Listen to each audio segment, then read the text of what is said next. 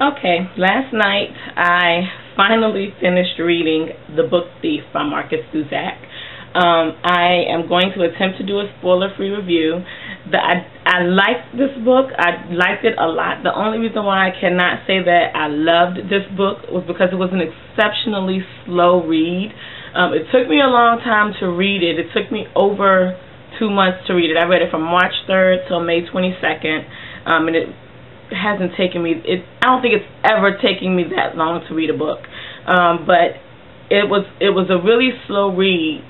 However, what you were reading was good, um, but there would be points um, where you would read so much information and you would be so into it and you would pause to I don't know, do anything. And you think you have read like 50 pages and you look down at the page at the page number and you realize you've only read 10. Um, but other than that, the book was exceptionally enjoyable. I um, enjoyed the perspective that it was written from. The main character's name is Liesel. Um, it's written with the with Death as the narrator, and Liesel, Death, Death's interactions with Liesel. And this is she's such a young character, and you kind of forget that or I kind of forgot that when looking at the things that she had to deal with as a child, young preteen, um, and teenager in the in the time in Germany where Hitler is gaining his power with the beginning beginning of the Holocaust. Um, and she, you know, she starts she starts off as such a central focus where, you know, of course she's a kid so her main focus is herself, but as she goes through the book, she she meets these people and she interacts with these people and she starts to care about these people and they become her focus as well. Um, and the the care that she feels for these people is the same kind of care that you develop for these people where you start off not understanding them or not liking them just from the first your first introduction of them you start to to understand them and to develop a, a, a care for them because of their interactions with Liesel and you and her understanding of them. Um, the major turning point, or one of the turning points in the book, is when her family, her foster family, brings in and hides a Jew in their basement. Liesl you know she as a kid her friends um she her best friend is a is a boy named Rudy and their relationship um together and how they grow up together is absolutely beautiful. Um but they come into interacting with other ch- with other children based on what they've heard and attempting to develop beliefs and understandings based on what they've heard, and then this Jew comes and stays in their basement, and her perspective is totally changed. And while she has this best friend that she shares everything with, this is the one thing that she has to keep secret. I have to say, I do not like war stories. I don't watch movies about war.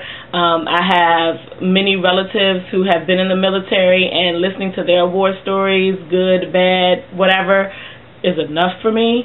Um, so I don't really care to read war stories or stories where you know there's a lot of interjections about what's going on during wars that are based during that time. And I still enjoyed this book because there is a lot of talk um, from the narrator about the war and about the deaths in the war, the people who are affected, and it gets you to look at war um, a little differently. Um, like I said, this is from their Jewish supporters, but they're still Germans, and they're still Germans under Hitler's rule.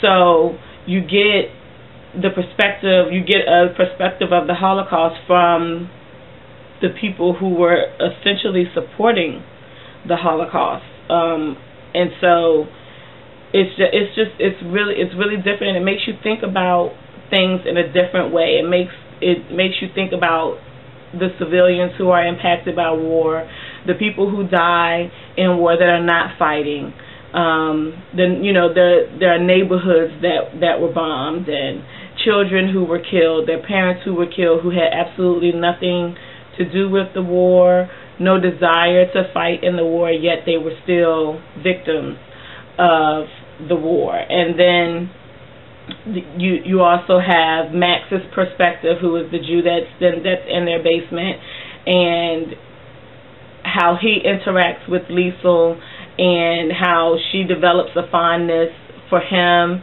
and a concern for him that is is amazing and a compassion for him that is amazing and very very profound for a 12 an 11 or 12 year old child. So um I'm going to stop because I'm totally scared since I've given out characters names but that's not really bad like characters have names but I don't want to give away too much of the book because um, I don't want to spoil it for any of you who haven't read it. So um, I hope that if you haven't read it, you read you read it. Um, and if you have read it, and if you read some other books that are from the German perspective of Nazi Germany. Um, leave some, leave them in the comments below. I would certainly be interested in reading them. I dare say, up to this point, 90% of the books that I have read that have been based in Nazi Germany have been from the Jewish perspective, um, the perspective of the oppressed.